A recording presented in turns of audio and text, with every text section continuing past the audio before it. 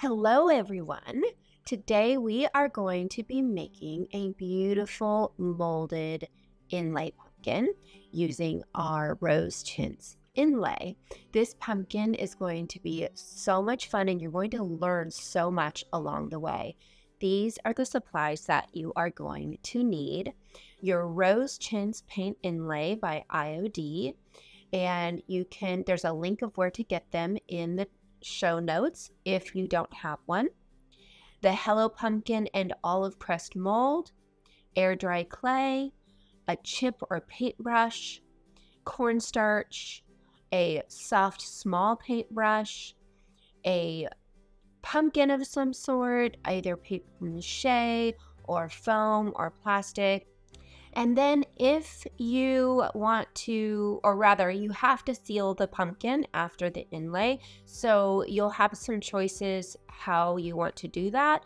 Um, we'll talk about that at the end, but depending, you'll want a spray poly and a clear wax. For decorative purposes on the pumpkin, we're bringing in dark wax and gold touches. Um, those are optional as well. I know that supplies can add up, so that's why I'm mentioning that. So the first thing we're going to do is we are going to take our Hello Pumpkin mold and we are going to dust the leaf cavities. We're only using the leaves from this mold. Um, so just dust those and then you're going to turn it over and kind of knock, gently knock out the excess cornstarch. And then once you do that, uh, oh, the reason why we do this, I should mention, is because it allows the clay to release easier. Then you're going to take your air dry clay and you're going to just press it into the leaf cavities. Once you get all the clay in, use your thumb to just kind of um, gently use that micro rim that our molds have and you can get rid of the excess clay.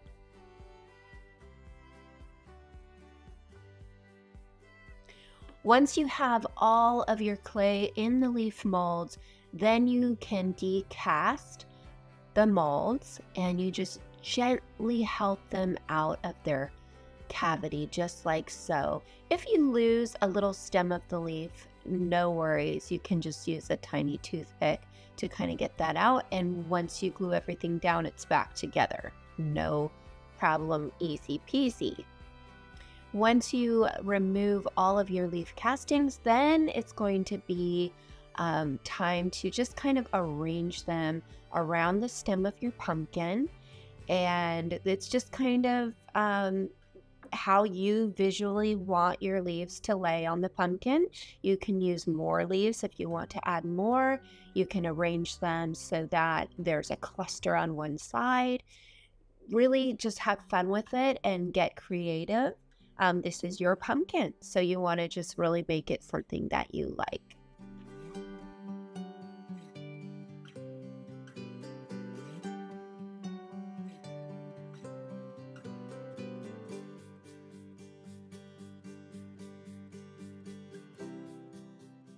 Once you get an arrangement of the leaves that you like, then you want to start to adhere them. We would normally use Titebond quick and thick wood glue, but we didn't have any on hand, so we used a hot glue gun. I would recommend a wood glue. It's a little easier and it works great with our air dry clay.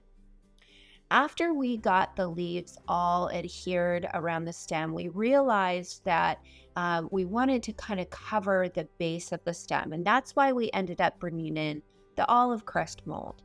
So if you would like to do the same, you can use the olive crest mold and you just, the there's some beautiful, just kind of um, architectural elements in this mold that we used to at the base of the stem to just kind of give it a nice classical feel where the stem meets the pumpkin.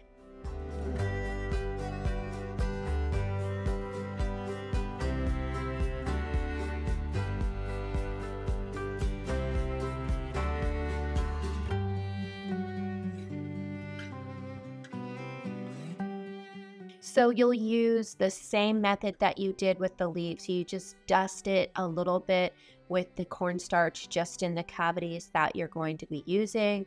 Flip it over, and knock out that extra cornstarch, and then fill those cavities with your air dry clay.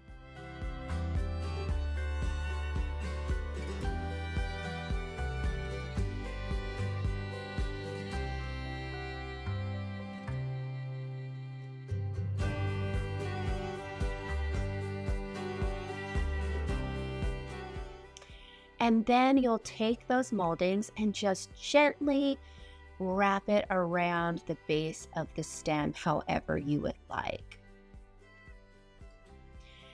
After you get those all done, it's time to set it aside and let it dry just enough to where you get um, a little bit of a crust on the outer layer of the molds.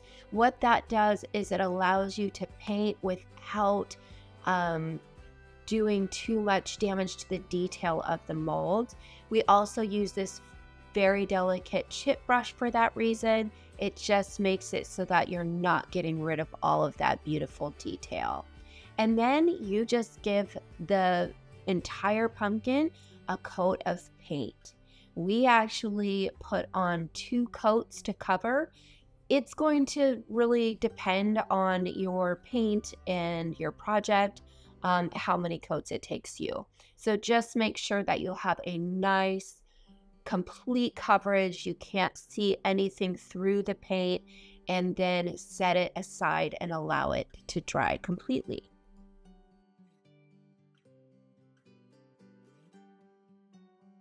Once you set aside your pumpkin and allow it to dry, while it's drying, gather your inlay sheets and just cut out some different arrangements and shapes and start playing with them and laying them on your pumpkin to see how you want them arranged.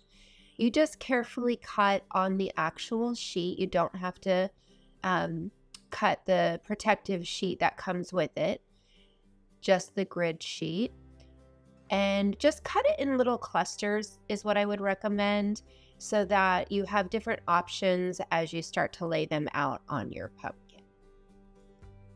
Once you have all of the pieces cut that you want, lay them paint side down uh, on somewhere that is going to be safe for them and safe and dry.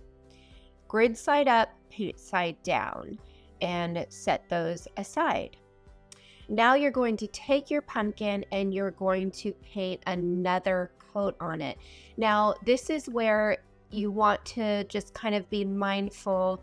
You can either paint half the pumpkin and lay half of the inlays in and then do the other half after, or you can do it all at once. It just depends on how quick you are. So if this is your first time using the inlays, maybe start with half the pumpkin and you want a nice medium thick coat, not too sloppy, not too sparse. You definitely want to cover completely. The areas that don't have wet paint, keep in mind the paint from the inlay will not take. Now, fairly quickly, you're going to want to take your inlay pieces that you've set aside, and again, they should be laid face down after you have them arranged paint side down, grid side up, you're going to give them a, a misting. And you'll want to give them a fairly decent misting because the water is going to activate that paint. You don't want to see any puddling, uh, but you definitely want to make sure that the whole thing is covered with the misted water. And then you're going to start arranging the inlay again, paint side down, grid side on the outside, and lay that into the wet paint on the pumpkin.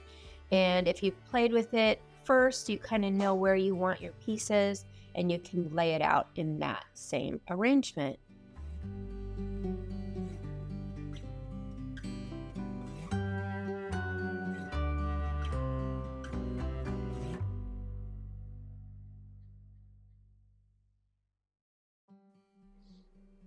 While those inlays are drying, if you would like to wax your pumpkin, this is a time that you can wax the molds. Just be very, very gentle if they're still moist at all. We used a clear wax so that we could come in later and do a dark wax and really pop that detail. The reason we use a clear wax first is it just allows you to spread the dark wax without it really soaking into the chalk type paint. It gives it uh, just uh, the ability to kind of move around better. So we're doing a clear wax on just the leaves only. We're not going down into the pumpkin because the inlays are still on it. We will do that after. After the clear wax is all completely into the molds, then we come back with the dark wax and we lightly, gently work that um, in. So we're just kind of buffing out the clear wax here and we've got our dark wax ready. And then we just dip the brush in, just grab a little bit. Um, if you want to use your chip brush that you already have, you can. And then you just work that dark wax into the molds, being careful to, again, not disturb the detail of the mold, but also to get into the cracks and crevices because that's what's really going to pop that detail um, out when you are finished buffing out the highlights. Okay, now that we've covered and we've got all the dark wax on, now we're going to come in with a shop as a um, blue shop cloth we like to have on hand. And we're going to just buff out the dark wax and really pop those highlights of the mold. And here you can see here how beautiful are these leaves around the pumpkin. I just love how those came out.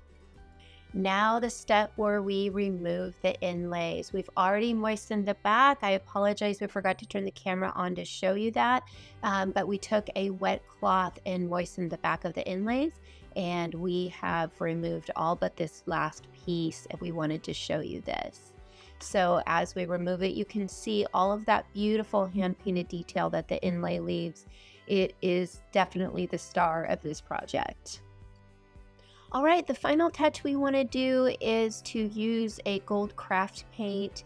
Um, you can find this at um, sometimes your stockist may carry it, so check with them first. But if not, any craft supply store will have it. And this is optional. You don't have to do this. You also don't have to use the dark wax for that matter. And then, as I mentioned earlier, if you don't want to do clear wax, you can also do just a spray coat of poly. Uh, water-based poly will work and you can seal it after you put the inlays on. So there is any number of ways that you can approach it. But that's it, you guys. This is our beautiful pumpkin molded inlay pumpkin. I hope you've enjoyed this as much as we have. Have an awesome day.